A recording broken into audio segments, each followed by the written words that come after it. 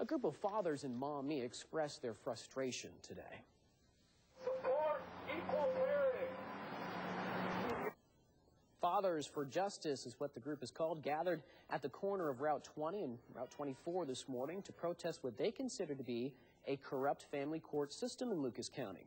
They wanted to thank people living in Maumee for their support and get the word out about their cause. Largely not been covered by the media. You know, single parent households are actually causing an increase in crime, so on and so forth, when you don't have two parents. So we want to raise that public awareness and then support legislation.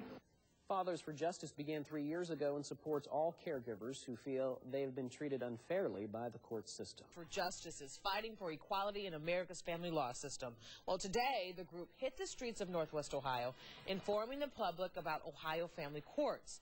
Now, the group is dedicated to making sure one parent isn't taken out of the child's life after events such as divorce.